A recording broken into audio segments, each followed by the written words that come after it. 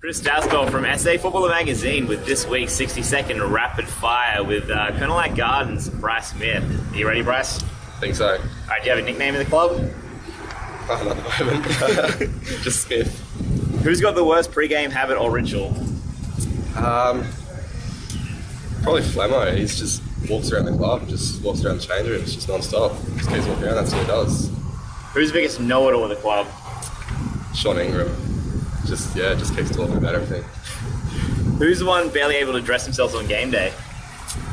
Uh, I'd probably go Donald Andrews. He thinks he's fashionable, but doesn't really look like it. Who's the least funniest on the team? Lee's funniest. Probably Adam Brigioni. Who's the best dresser and the worst dresser in the playing group? I don't say which one is which. Uh, well, um, I'd one.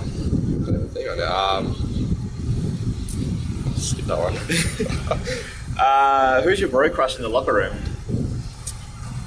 Probably Marshall, Sam Marshall, Who at the club basically thinks they're a celebrity? Kane Cornish. Who's got the Who's the best sledger in the team?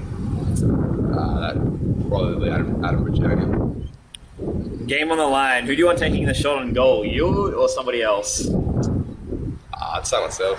All right, thanks, Bryce. This is Chris Dastor from SA Footballer Magazine. I'll see you next week.